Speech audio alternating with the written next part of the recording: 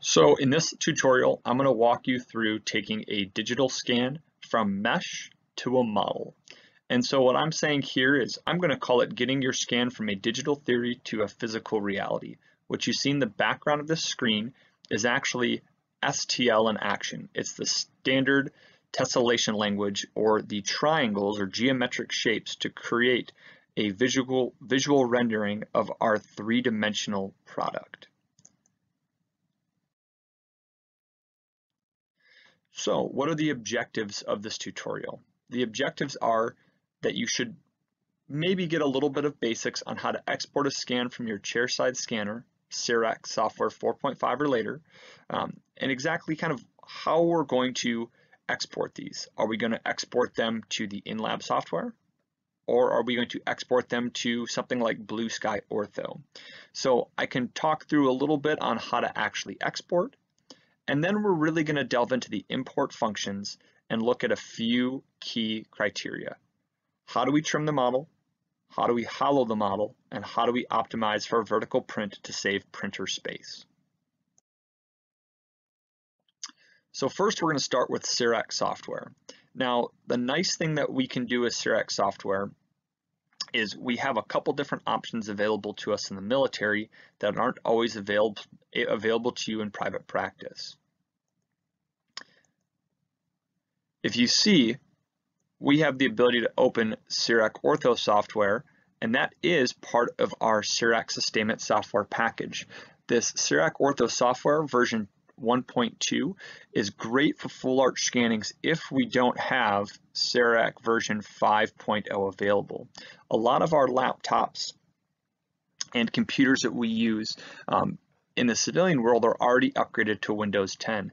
The problem within government systems is there's a lot of security updates and it has to go through a rigorous software approval process and we haven't reached that point with our CAD CAM machines where we can update them to Windows 10 at this time. So a lot of our machines are still running software version 4.6. Now you can use this software version 4.6 to scan a full arch quickly, but understand that you may have 150 to 200 microns of cross arch discrepancy, which could affect the fit of your removable prosthetic device. So usually what I say is if it's going to be a mouth guard or a bleaching tray, and you want to scan in a physical model very quickly, use the software version 4.6 for something like a bleaching tray or something like uh, an athletic mouth guard.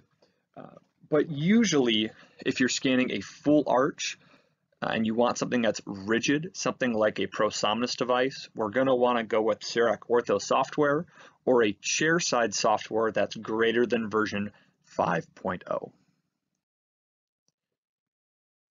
So instead of showing you a video of the actual scanning process, we're going to go ahead and take a couple models that I scanned in myself. We're going to check our upper and lower models. We're going to trim them and verify that all of our excess is removed, verify that we removed the lip and the tongue, and this screenshot that you see is actually the CEREC Ortho software. These models are excellent models that are of export quality, and we're going to move on to the next screen. This part is very, very important. This is our setting of our model axis. What you can see in the screen is this is for a ProSomnus device with a protrusive record and a 5 millimeter opening. But even if you have a maximum intercuspation record, the most important thing here is your STL model will contain global positioning data that will um, orient your models to a virtual uh, horizontal plane. So making sure that we mount our models correctly in this screen will give us the easiest import into the next software that we have. Now, the nice thing about staying in the CEREC world is you can export as a DXD, and that allows you to change your geometric um, three-dimensional position or your global positioning a little bit easier. When it comes to STL files and you start getting into Blue Sky Ortho and Blue Sky planning software, this becomes even more critical. So I always recommend do not export until you have hit OK at the bottom of the screen. So you can see right here after setting model axis, once you click OK, then you can go up to the top and you can hit your export functions. Now in the Ortho software, we don't have to do this step. Don't worry about aligning the teeth. Don't worry about marking the teeth. Go right to the add base step, but you don't actually have to add your base. So this is pretty neat. When you see we go over the tutorial a little bit later of Blue Sky Ortho and adding our bases, we do have to go through and select our teeth, but we don't actually have to move them. So the CEREC Ortho export function is much easier and much faster from a digital scan getting into our in-lab program. So I can usually have a patient seated, have a full upper and full lower scan in about 15 minutes. And that's a long time, but if you think about all of the lab steps that it takes, it saves us a lot of time in the long run. Now with PrimeScan and with software version 5.1 and greater, we can get an upper and lower arch in about five to six minutes, um, ready to be exported for 3D printing. So the, the times are just getting faster. Now this screen right here is when we can go to the top and we can click export. So there's two options that we want to choose. It's either as an STL or DXD. So if we look at the bottom of the screen, we see both options here. The first thing that we're going to go over is using the DXD function to go into our in-lab software. After that, we are going to talk about if you do take this out as a closed geometry or open geometry STL file, how do we handle that in the Blue Sky Plan orthodontic module to create the type of model that we want to print? So first, let's talk a little bit about file formats. So what do these file formats do? Well, what these file formats do is take this mesh and converts it into a series of usable data that you can export to different softwares. So DXD is a proprietary file system that's used by Sirona. If you have a round margin, your margin stays round by using this DXD proprietary file system. It gives you a greater degree of accuracy when it comes to your articulation, your contact strength, and your marginal data. All of this information is maintained in your DXD software. RST is very similar to a DXD, but it also create it also contains your restoration information if you're creating a restoration. So the really nice thing about DXD and RST is that if you do have an in-lab computer in your office, you can just thumb drive these over and import them directly into your in-lab software. If you don't have one, well then you have to use the Sirona Connect portal. And I have some ghosted slides that I have available in this presentation that tell you how you can transfer these files over to the Army Dental Lab or how you could transfer them from one computer to another in the military system. But you can see that we have to do a lot of file conversions. So if we take something like a DXD or RST, which would be that cue ball up in this corner of the screen right here, we can convert it into what's called a 3SE file. So this is actually pretty neat. So Sirona does give us the ability to transfer our DXD files over to these 3SE files. The problem with it is we still lose some data, things like contact strength and marginal integrity. So that margin that we work so hard to draw and make a provisional is now gone. But if you want to just create, let's say, a set of clear aligners, or you want to create a model for the Army Dental Lab, you could send it as a 3SE. The most common way, though, is to send it as what's called the STL file. The STL, or Standard Tessellation Language, converts that round cue ball into a small series of triangles, which is what you actually see up here on the screen. This is the actual triangular pattern that's going to create our mesh.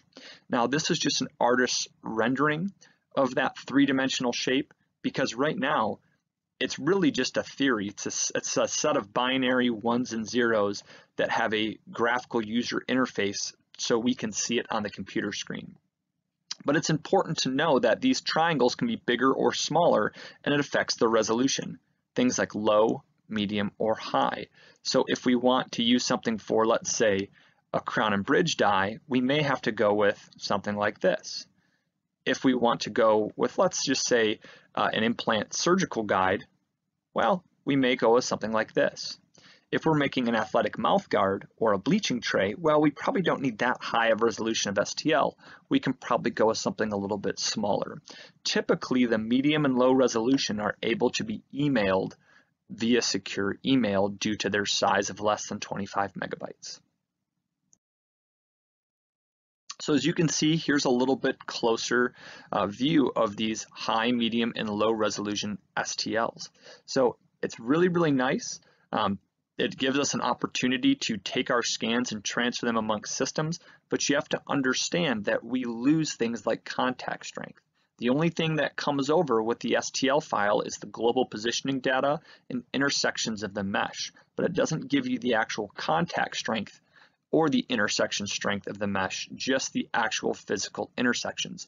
So this could result in restorations that are maybe a little bit higher than ideal, restorations that are out of occlusion, and we often see this when we transfer files from our um, DXD, transfer them to an STL file and have an outside laboratory make them. It usually messes with our occlusal information and our proximal contact strength. So we're going to skip over some of these ghosted files. How do we take it from our thumb drive to our computer? We're not going to go over this data. You can go ahead and feel free to read it on your own once we're all done. So now we're going to go to InLab 18. So after we scan in the chairside software and we continue to our model alignment, we do what? We click OK that's going to save that 3D global positioning data in DXD or STL type format. But understand it's important what type of file we're going to be exporting. If we want to use a DXD, we have to export to the InLab software. If we don't mind using an STL file, say it's for something removable or orthodontics or something of that sort, or you just want to create a model, well then an STL is probably fine and we can export as an STL and take it into our third-party software. So the next step that we're going to do is we're going to go ahead and we're going to start our InLab application and bring in our DXD sample file to make our physical model. So the first thing that we're going to do is go up to our import tab. We're going to go to our desktop where we saved this file. And we're going to go ahead and go to our sample DXD and click open. So InLab is a very robust software, not quite as robust as a lot of other laboratory platforms, but the nice thing is it takes our chairside scans and integrates them without any data loss, any margin loss into this software. So it gives us the ability to make models, restorations, splints, guides, export to Atlantis for custom abutments. For this, all we're going to do is go ahead and click on Model, select our upper jaw, and move forward. Now, throughout this process, we have the ability to trim our models, to look underneath our mesh and make some adjustments to our mesh if we need to. Usually I'll try to get rid of any sort of spikes or bad data in this screen. As you can see, as we rotate this closed mesh around, you can see how that base is very, very uneven, which leads to a very uneven print. Overall, we can go on to model axis and we can check to make sure that this information that we want this three-dimensional global positioning data comes with these models and we convert it to a model as an STL file. Now, before I go forward, it's going to ask me if I'd like to go to InLab 18 right now. I don't want to because I want to make some editing changes to these models, especially let's focus on the mandibular arch. So we're going to go down to our edit function under edit model to our cut tool at the top right hand side and remove all of this bad data. When you have this floating data or tongue space, it's a lot easier to cut it out of the model now than it would be when we go to create model. If we look at the upper jaw, we can make all of the adjustments to the upper jaw in the model function under create model. Um, but let's make this big kind of piece of tongue and isolate go away. So what we're going to do is we're going to go to the cut tool up in the top of the screen and we're going to go ahead and get rid of it and move on and we'll talk about that when we get to the next slide. So now we're going to go ahead and use the double left click and we're going to show you how to trim out a large area on this mandibular model. Even though we're just only going to the maxillary model, I think this is a good opportunity to show you how we can use this cut function very early on in the edit model phase prior to going on to create model. So as we start this video, you can see that we're just double left clicking to start, single left clicking to save our progress. And you can see I accidentally deleted the model. So I'm gonna go back and I'm gonna start by double left clicking, single clicking to track my progress around, double left click to close, and then we're gonna go ahead and click apply. We're gonna get rid of that little area of the model. And now you can see it doesn't mess with our model axis. It leaves everything the same. And now we're gonna go ahead and create our model. So now moving forward, this is going to take us into this in-lab model application. So you can see it's very robust. We can add supports, we can create dies, we can create gingival masks, and overall it's a very, very robust model software. So we're gonna first load our model in and prepare it.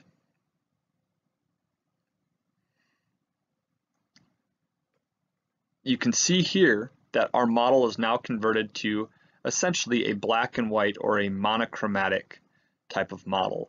We can import an STL into this phase as well. I find that my surface detail is higher when we just import a DXD and go through the Sirona software workflow as opposed to just importing an STL model at this point.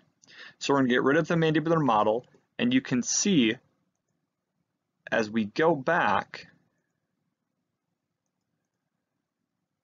We're going to rotate this model and you can see this opening inside the model. I'm double clicking to start and single clicking to work my way across and this is with the left click button and what I'm doing is straightening on this line. Anything below this line is going to just in, is going to keep our model. Anything above this line is where we're going to create our new model height and our new base expansion. So that was a double click to start, single click to save our progress, and then double click to end. Now here's a good example of what a mesh looks like. This mesh is actually applying this physical point of the surface of our teeth. Now the inside and outside of the mesh actually exist at the same point. So this is why, and this is the whole theory on how we can take an, a scan of an impression, we can invert that scan of the impression and have no distortion because that point on the mesh where the inside and the outside meet is actually the same point. So that's why we look at the title of this, a theoretical model to a physical model, because that point has to be filled in, and then we have to create a new hollow point if we want something that we can physically print. If we were to go take this mesh to an STL, it wouldn't be a printable file. So now we're going to go ahead and we're going to finish editing this line back. The smoother we can make this, the quicker it's going to make the processing on our computer.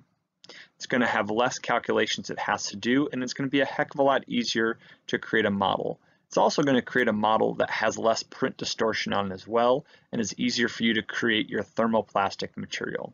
Now from here, we're going to adjust our model height to around 4 millimeters, and our base expansion is going to be very, very minimal. When we look at a base expansion, what we want to make sure is we don't want it impeding the VacuForm or the BioStar machine. So from here, we click Apply, and we will go on to the next phase of our model creation, which is going to be adding our vertical print supports and then hollowing our models.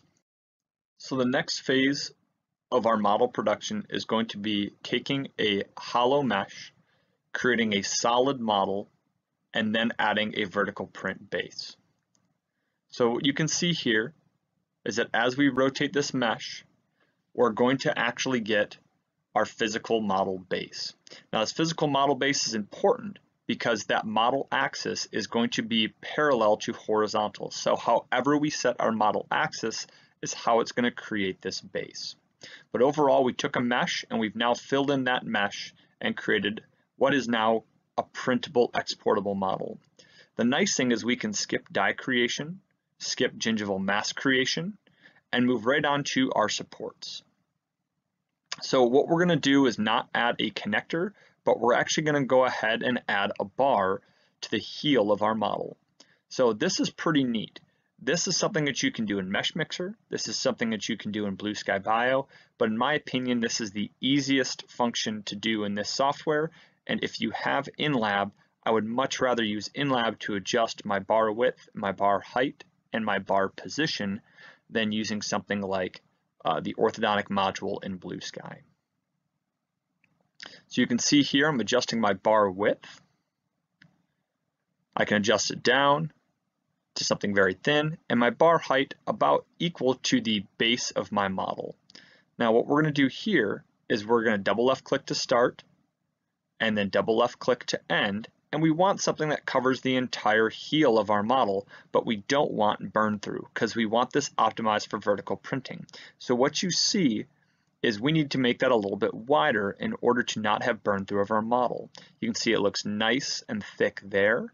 Now if we make it thicker or thinner, you can see that on the opposite heel, we're getting a little bit of burn through.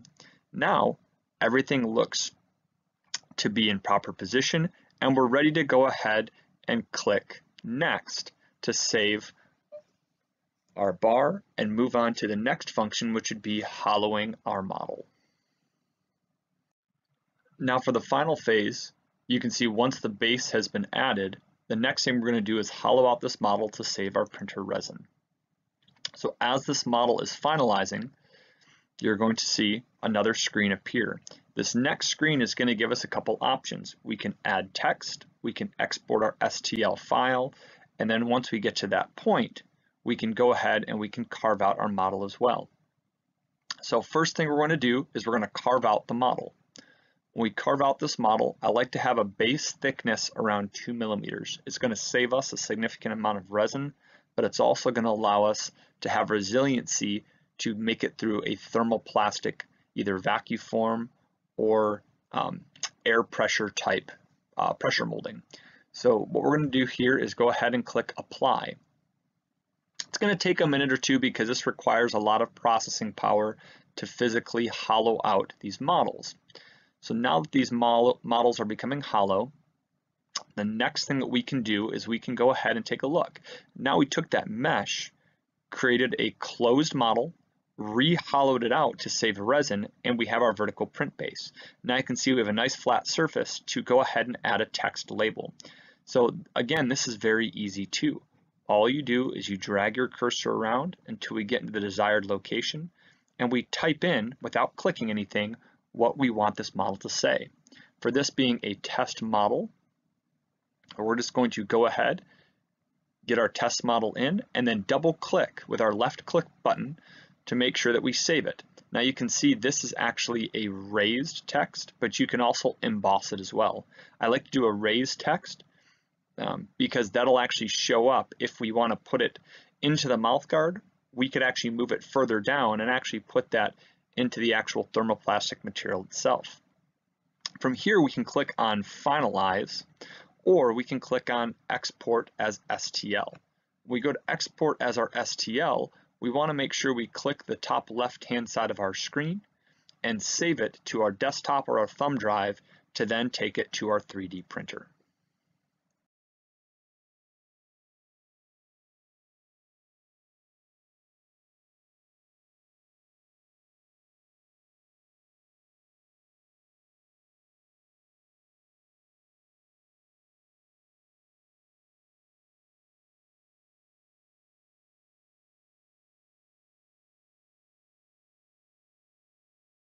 So now we're going to utilize a free software called Blue Sky Plan in order to do the exact same thing we just did in the InLab software. So going back to that original screen when we talked about exporting our files, if we're going to take a file from Sirona or a CEREC system to any other third-party software, what we want to make sure that we do is we want to make sure that we transfer that over to an STL file. So in Blue Sky, what we're planning on doing is we're going to go ahead and we're going to take that file, export it as an STL, and import it under either model editing or orthodontics. And in this case, we're going to use the ortho software and go over to our import model screen. As you can tell, it talks about an STL data file. That's what we want to import in this phase. So what I'm going to do is I'm going to go ahead and click import and I'm going to import my own upper jaw, um, which you can see is in the mesh format. As you can see, there's no sort of base on this model. And we're going to go ahead and we're going to click OK. And we're going to bring this forward into our editing software. For this, again, I like to use the orthodontic module. So you can see that I've imported the maxillary jaw and we don't have to worry about importing our opposing arch. All we're going to do is import our maxillary jaw and click continue to jaw alignment. To align our jaw, what we need to do is we need to hold the shift key while clicking with our left click mouse button and we're going to put two points on each tooth. So one here and one here. We're going to go ahead and start and follow the prompts on the screen all the way back. Once we get to that point, we'll go ahead and we'll click on go to left side. Once we do that, we will hold the shift key and click and again mark two spots on every single tooth and work our way back to that second molar. And this is where we'll stop. You don't want to stop early, as tempting as it is, because this defines how it's going to draw your model and how it's going to trim your model. So once we've marked all of our teeth, maxillary only, then we'll go ahead and we'll go on to finish marking teeth. So once we've clicked finish marking teeth, it's going to give us the option to close our model. As you can see, we still have a mesh, and we still have some bad data. In older versions of this software, this was very problematic, and I would never close the model in this screen. I would only import finished closed geometry STLs into this software. This software has gotten much more robust and the modeling capabilities are much better.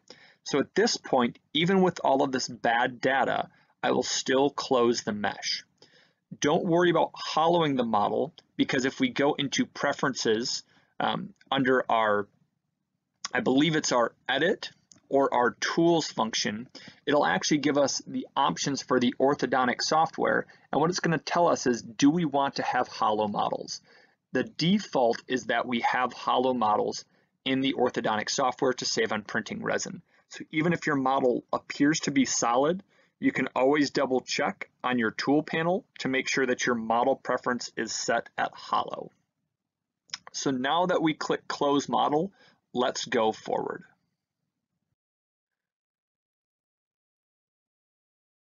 Now, what you're gonna see is this tooth segmentation. If I was actually going to do orthodontic movement on my teeth, I would have to correct all of these areas here, here, and here to make sure that line is perfectly around my teeth. Because the only thing we're using the orthodontic module for is its model function and vertical print base, we're not going to worry about our tooth segmentation and we're going to continue directly to our model trimming. In this screen, what you can see now is it's going to give me the ability to toggle all of these small orbs and move them around to get this base how I want it to look. So you can see I probably want my base drawn somewhere up here, but I want to get rid of all of this kind of bad data as much as I possibly can. So what I'm going to do is left click and we'll drag these little balls up to get something that looks a little bit more like this. This nice kind of straight line that we see getting rid of a lot of this bad data. Overall, again, don't worry about these lines at our free gingival margin. Don't worry about the color of the teeth because we're not worried about orthodontic movement. We're just using the trim function and then we're going to continue to moving teeth even though we're not going to move the teeth. Like I said in an earlier video, When we use the CEREC Ortho software for, for a full arch scan, we can skip over to segmentation and tooth movement and go right to the export phase. Blue Sky makes you physically click through every screen to get to our export phase. So you can see here that my model appears to be closed. If we actually look at this model and export it into our 3D printing software, this base right here will not show up. This base will be a series of crosshatches with a closed model. And that's just because of what I have set under my preferences screen. So again, we're not going to move the teeth. We're just going to continue on past this tooth movement screen. Now in this screen here, you can see it's giving me all these options to move my teeth. Don't do it. Just go to the bottom of the screen and click on continue to edit steps. Once we've clicked there, you'll see something else shows up the bottom right hand side of your screen that says continue to add buttons. We are going to click on that and keep moving forward. Now, we're not going to add any orthodontic buttons at this phase, so we're going to continue on to export. So we are going to click on the continue to export button.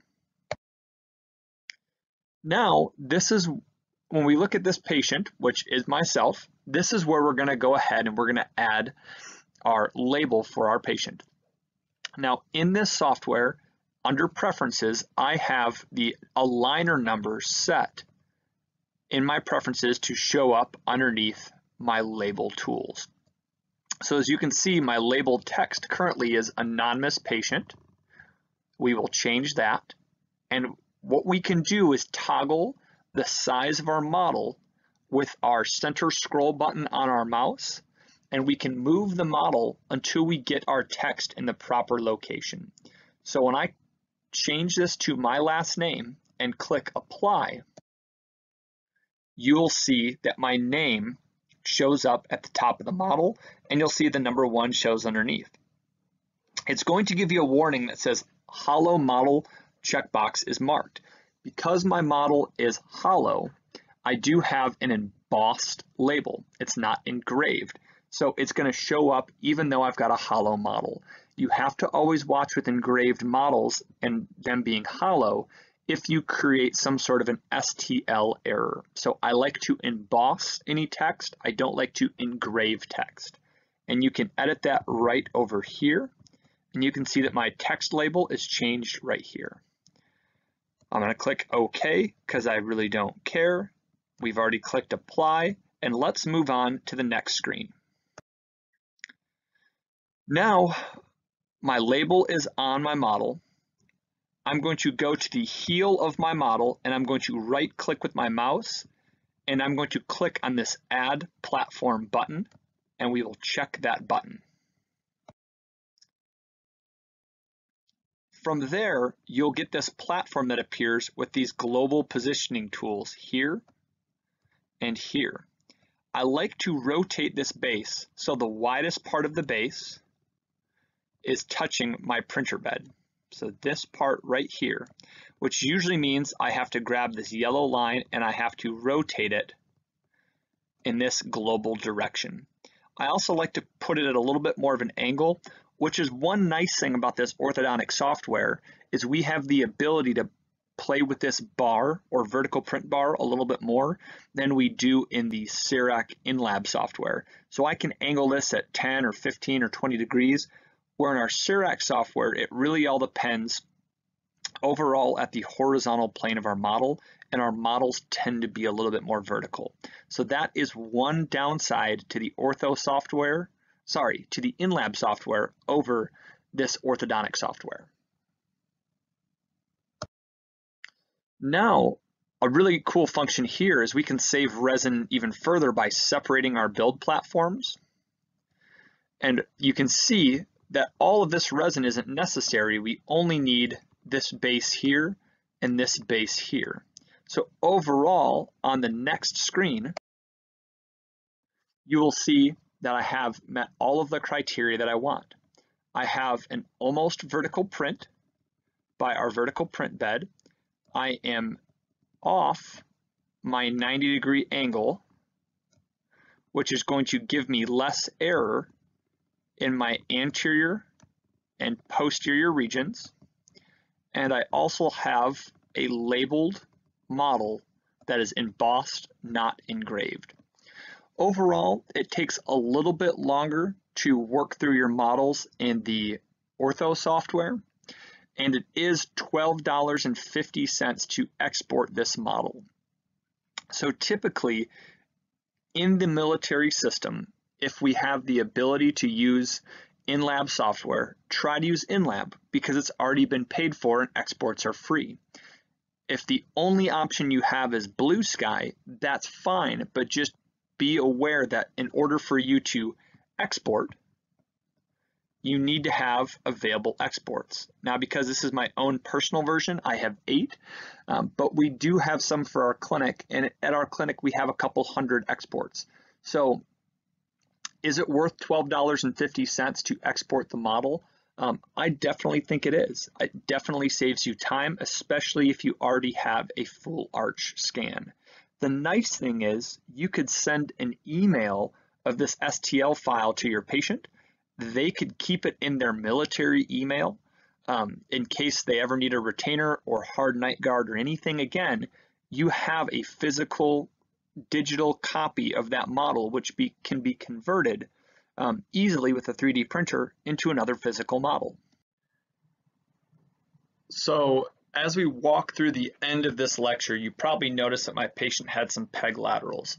So Dr. Khan, who's one of our dental residents and obviously one of your classmates if you're in the residency watching this video, um, presented on digital smile design and kind of took this concept in this case kind of through start to finish how we do the digital wax up. Uh, but overall, we were using this patient's models as an example of how to create a hollow 3D model. Um, as you can tell on the left-hand side of the screen, you'll see a crosshatch pattern right over here. This is the pattern that I was talking about if this was a blue sky bio case. So obviously you can see we, we told you that InLab didn't do any sort of digital wax up. So we know that we did this case in Blue Sky software. Because of the Blue Sky software, we see this crosshatch pattern for our hollowed models. And at the very end, we take that, make a physical putty matrix, transfer it, and eventually use that as a bio copy to get our final Emax restorations on this patient. So overall, it's a very cool application for digital smile design. It's something that can be available to you in the Army Dental Clinic, but it's important to understand how to use the software and from a basic level, not getting into digital smile design, how do we just actually use it to physically print a model for us to do a physical wax up? Um, and the digital wax ups will come a little bit later. But overall, each model hollowed out is going to cost us about 33 cents. It's going to cost us about 88 cents to a dollar for us to do a non-hollowed model. So it does a very good job of reducing our costs. And if I can produce models for 30 cents, and it really only takes me about 10 minutes to do all the processing in the laboratory, um, I don't have to worry about pouring up my impression wrong. I don't have to worry about getting a bubble in a critical area because all of those things are taken care of in the digital phase. And if we have a misprint, it's okay. We didn't lose an impression. We don't have to recall the patient. We can just start from the beginning. Okay, so what we're going to be doing now is doing a little bit of model editing using the Mesh Mixer software. So I'm by no means an expert, but we can give you one more free option for you to actually edit your models. So what we're going to need is a copy of Autodesk Mesh Mixer. And what I'm going to do is just drag in my upper model. So as we drag in our upper model, it's going to take a minute or two for it to load in. And you can see here that we have our open mesh type network. So with our open mesh network, you can see there's a few things we need to do. One thing we need to do is we need to close the mesh. Another thing we need to do is to correct these areas right here and right here. Now, one problem with Mesh Mixer, and the reason I don't like to use it too often, is it can get really complex really, really fast if we have holes in our occlusal surface. Uh, Baron Grutter uh, has some great videos on how to close these areas, but I feel like that's where Mesh Mixer takes a little bit more of an advanced user to close all of those areas. Um, but if you have a model like this that has a relatively closed mesh, and all we have to do is level the base, add a vertical print bed, it's really pretty easy. So first we're going to start by using the select tool. I like to start with the lasso type tool, and we're going to right click and hold, and we're going to move our model. We're going to start with a left click. We're going to select some areas that we want to get rid of. And don't do any double left clicks, just single left click. And now that area is selected yellow. We can go in here with our brush and we could adjust it with a brush, but I'm just gonna go ahead, I'm gonna discard this. So overall, I'm pretty happy here. The next area I have to get rid of is right here where we have this mesh overlap. So we're gonna go back to select. This time we'll zoom in and we'll do the brush mode. We're gonna go ahead and we're going to make the brush smaller and we'll select this area right here.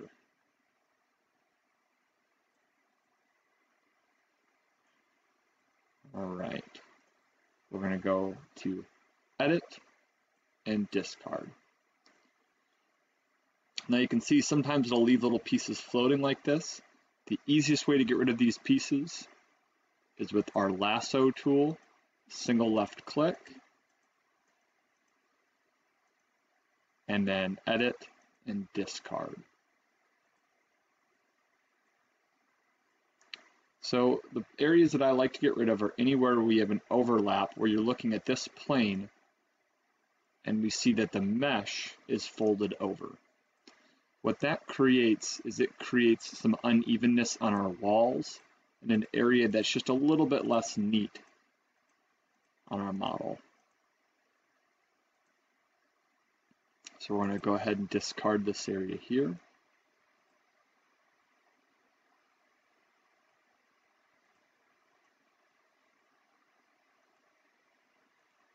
Just get rid of this area just to make it look a little bit more clean.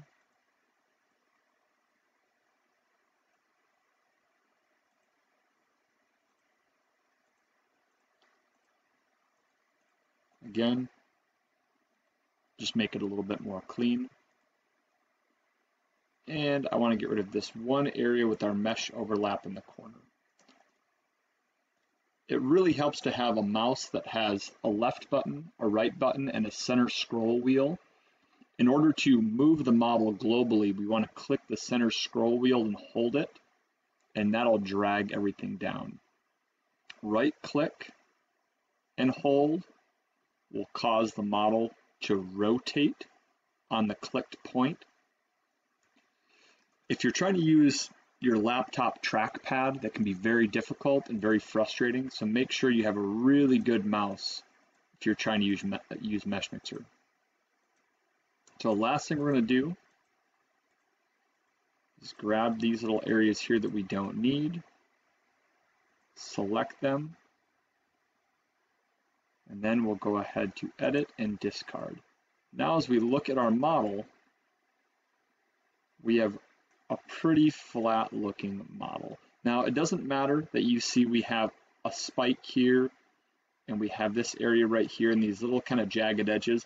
That doesn't matter too terribly um, much. What we're going to do next, oh, I see this one little area over here. We have a little overlap, so we're going to get rid of this. Then what we'll actually do is we'll extrude this model out and hollow it after that. So rid of the section, edit, discard. All right, so now here's our dental model. So the next action that we're going to do is we're going to go into edit. And you can see we have a bunch of different tools in edit. So we have things called plane cut, duplicate, transform. Um, there's many videos online that go through all of these tools. What we're going to do is focus on just some areas uh, just to help you with just essentially basing a model and hollowing a model. Okay, so we're going to go back to this edit tool and we can talk about some of these other functions. But first, we're going to go ahead and again with our lasso tool, with a single left click, we're going to select our entire model. Now there's hotkeys to do this much quicker where you can go and you can select the model by hitting certain hotkeys. I've never been too good with those, so I just like to use the lasso tool and select my model that way. The next thing we're going to do after the entire model is selected, and you can see that it's orange, is we're going to go into this extrude function. What this is going to do, it's going to pull the base of our model up, and usually, although it doesn't make a whole lot of sense, we're going to do a negative offset. And what you're going to start to see is that model is going to get thicker and thicker and thicker. Now, what we're going to do, as you can see, it just extrudes the base of that model. And the next thing we're going to do, where it says end type is an offset. So what that's doing is that's taking the entire model or the entire mesh and extending it up. So you can see how that tooth this area right here is actually sticking out, and that's where my lateral incisor will be sticking out past the base. If we want to change that, what we can do is go into end type and click flat. And you can see how much different that looks now. I'm going to go back in one more time and I'm going to extrude this model out about as far as it'll let me extrude it. Now, we right click and rotate, you can see we have a nice flat model. We're going to go ahead and we're going to hit accept and give it a minute to process that change.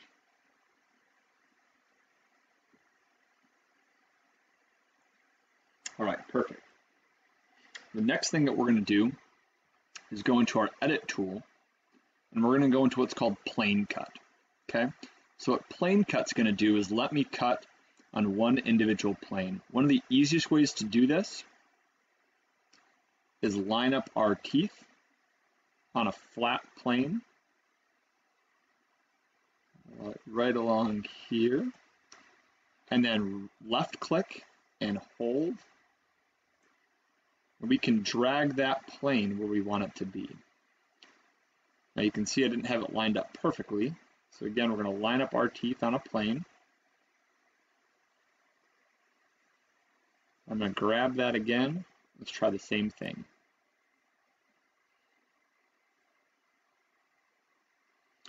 Now, if we keep getting off like this, another easy way to do this is to grab it.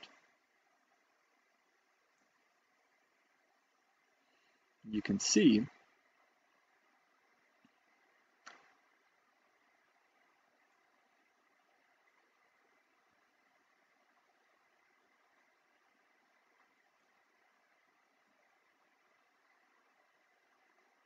we have a nice model that's solid. So if you want a solid model that you're going to print flat, you do your plane cut and leave it just like so. What we want to do first though is we want to hollow our model. So if we just do the plane cut right now, we're going to end up with a solid model that's nice and flat to our occlusal plane. We're going to go ahead and hit cancel and we're going to go ahead and make hollow. Now what I find if we're going to do a thermoplastic type material is I actually want my model to be about two millimeters thick. So that's what we have set up here is our offset distance at two millimeters. And we'll go ahead and we'll hit accept. You can adjust that down and make the model thinner if you'd like, but I find two millimeters gives me enough edge strength so my model doesn't crush under a thermoplastic material like a orthodontic aligner or an athletic mouthguard. So now we're going to go back and we'll do our plane cut one more time. Now you can see here, what it's telling me is it would actually cut off all of our teeth. So there's two ways that we can do this. We drew the line last time to make our plane cut how we want, or we can grab these global positioning tools and we can rotate it 180 degrees.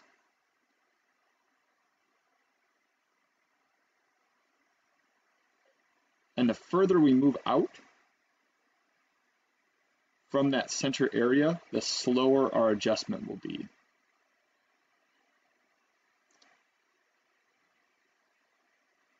All right, so we'll get it about 180 degrees and we'll let it go.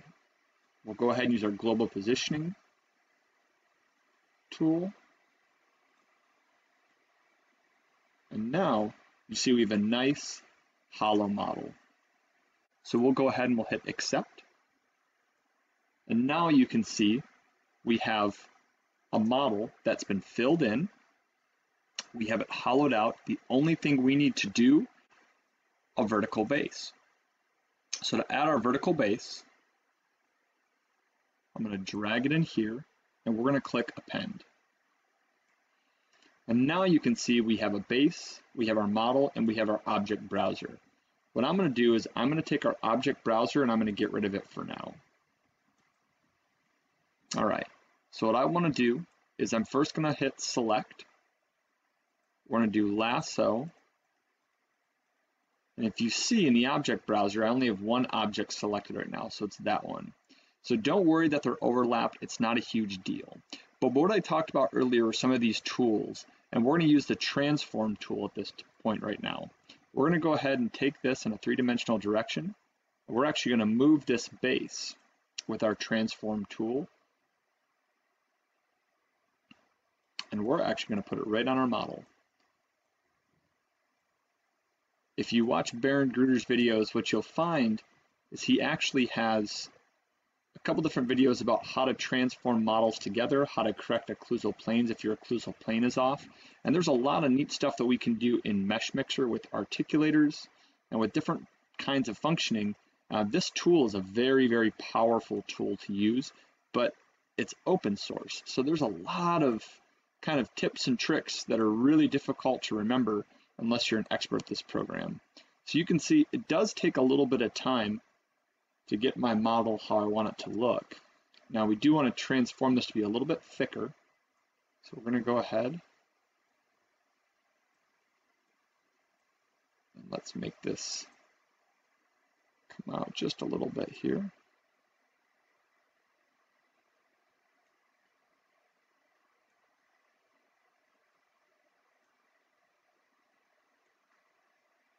Let's rotate ever so slightly.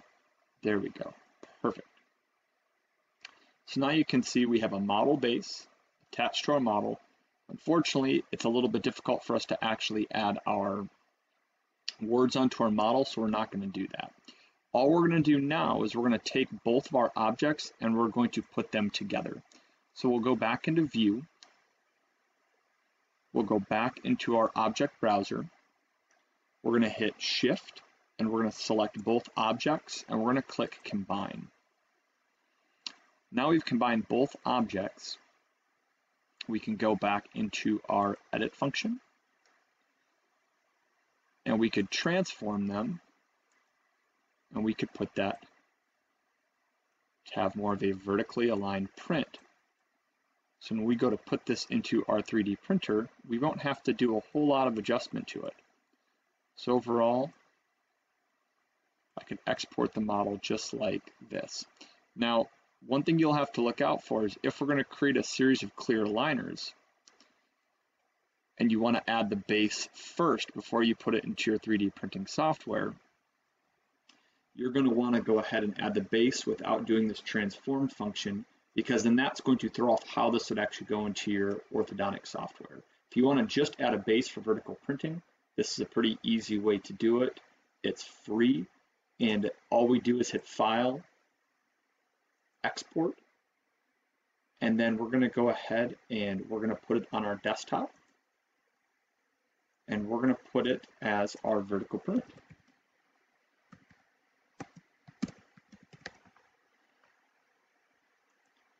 Okay. So now what we're going to open up next is our 3D printing software, Chitubox.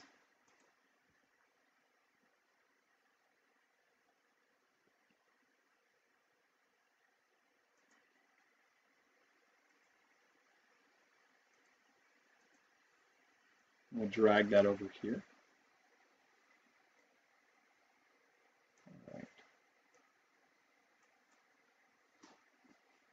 Now if we look at our vertical print, we drag this in.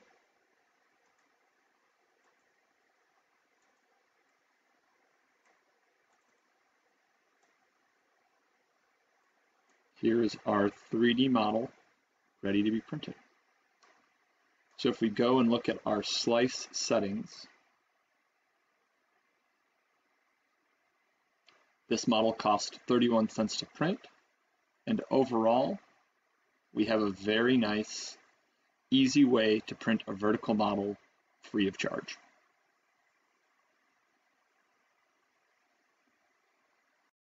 So in conclusion, uh, you can see that we can export from CEREC Ortho 1.2 or CEREC chairside after a model axis has been set. We've talked about a couple different options that you can use, whether it's uh, editing the model axis once you get into your model software, editing your model axis once you get into InLab, or using the transform feature in Meshmixer. These are all different options that we have, but ideally we're going to set that model axis in our scanning software because that's less room for error. Understand that DXD is used when we're staying inside the CEREC network and STL export is to be used when we're going through to different types of software that are third party. And hopefully you see a good basic tutorial of how to use three different software platforms that are available for making 3D printable models, all at different price points from a very expensive software to a free software that charges for exports to a totally free software that just requires a little bit more time uh, to get the hang of, but is 100% free. All of these softwares are available to you to use within the military, um, and they're all good tools to have. And I think as we go forward with digital impressions, this is just one more tool to have in your bag of tricks to be able to actually take a physical um, model and convert it from a theoretical scan. So overall, hopefully you enjoyed this presentation. And if you have any questions, feel free to reach out to me and good luck printing your three-dimensional models.